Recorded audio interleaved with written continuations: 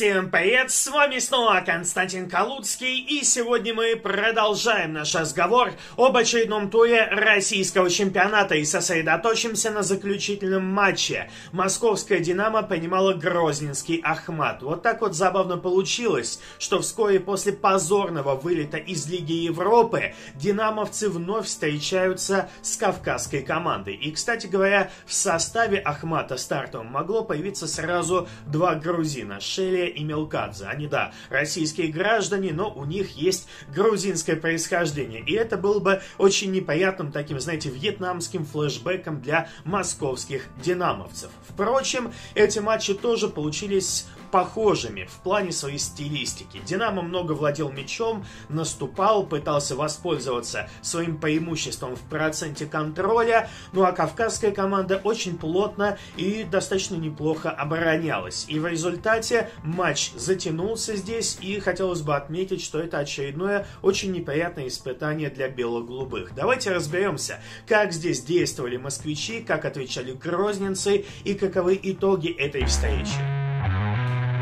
Хочу напомнить вам, что специально для вас был создан телеграм-канал PegasBet, в котором публикуются бесплатные прогнозы на спорт, которые помогут вам заработать. Все открыто и честно, а самое главное по статистике проходимость прогнозов более 90%, что гарантирует вам постоянную прибыль. Так что, не теряя ни минуты, заходите на телеграм-канал по ссылке в описании и начинайте зарабатывать. Ну и начинаем мы со стартовых составов, потому что в последнее время и у Ахмата, и у Динамо есть определенные проблемы с результатами, и здесь было интересно посмотреть на то, какие организационные выводы сделают главные тренера той и другой команды. Ну и начинаем с Новикова и с его московского Динамо. Как он поменял состав после фиаско в Еврокубках. В воротах Шунин, в центре обороны Ордец Евгеньев, слева Скопинцев, а вот справа появился Слепов.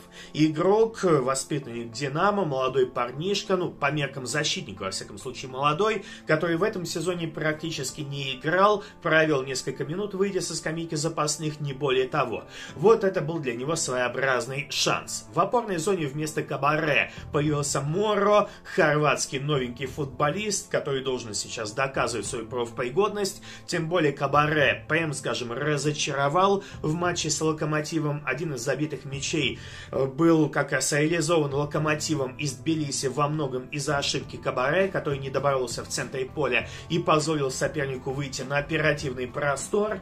Ну и рядом с ним появился Фомин, которого в комментариях к моим видео очень часто критикуют болельщики Динамо, но Новиков продолжает ставить его в обойме.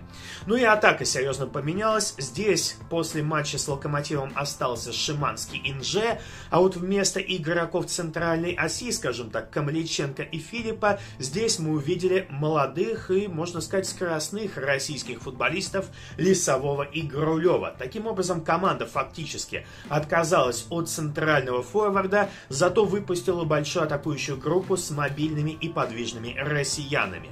Что касается Ахмата, они в последнее время тоже много всего проигрывают, и в результате здесь произошли тоже определенные перестановки. Во-первых, поменялся голкипер. Шелли остался на скамейке запасных с первого первых минут вышел Гудиев. Оборона, опять же, серьезная корректировка в центре защиты. Вместо Пуцко появляется Анхель, но зато на флангах привычнее нам Нинахов и Богосавец. В опорной зоне команда перешла со схемы в два опорника на троих центральных полузащитников, ну, скажем так, оборонительного плана. Тимофеев, Швец плюс Исмаэл. Понятное дело, бразилец больше подключался к атакам, уже в первом тайме имел шанс забить, но все равно мы помним, что он может работать в опорной зоне. Ну и атакующая группа Береша, Быстров и здесь же Ильин. Таким образом, в отличие от предыдущего матча чемпионата России против Сочи, здесь Ахмат вышел с одним форвардом, Ильином, Понце остался на скамейке запасных, но зато с тремя центральными хавбеками оборонительного плана. То есть был ярко выраженный акцент в сторону прагматизма и оборонительной игры. И как результат, это, конечно, стало серьезным испытанием для Динамо в первом тайме, например, мы видим процент владения 60 на 40, но при этом ударов больше наносит именно кавказская команда Ахмат. Ну и, кстати, попадание в створ 2-1 в первом тайме в пользу грозненцев. То есть, казалось бы, матч Лиги Европы закончился, но по сути своей продолжается примерно то же самое, что мы видели против Локомотива. Динамо много владеет мячом, но не знает, как скрыть оборону соперника. Тем более, что в этих условиях состав, вышедший у Динамо, он оказался ну просто неподходящим вариантом. Вот сами посудите. Когда противник играет от обороны, атакующие футболисты не могут разогнаться. Когда противник запирается у себя в штрафной, атакующие игроки твоей команды не могут как следует набрать темп. Они не могут выйти на оперативный простор. И в результате в подобной стилистике скоростные футболисты просто теряют свою ликвидность, теряют свою эффективность. Сами посудите, в четверке футболистов атаки Динамо нету ни одного по-настоящему мощного парня, который мог бы прорвать оборону соперника за счет физики, ну как тот же самый Камличенко.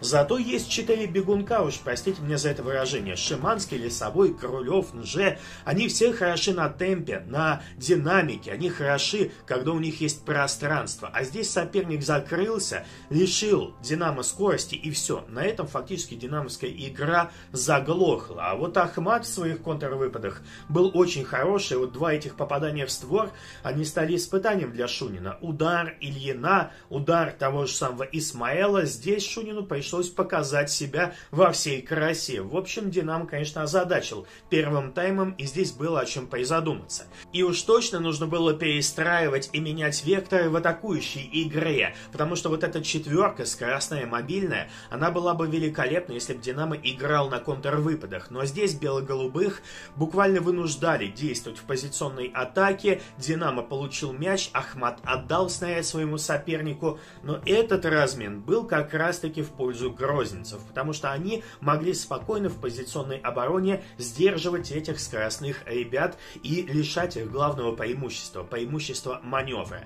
При этом хотелось бы отметить, что меня удивило. После достаточно удачного первого тайма именно Ахмат раньше начал вводить свежих футболистов.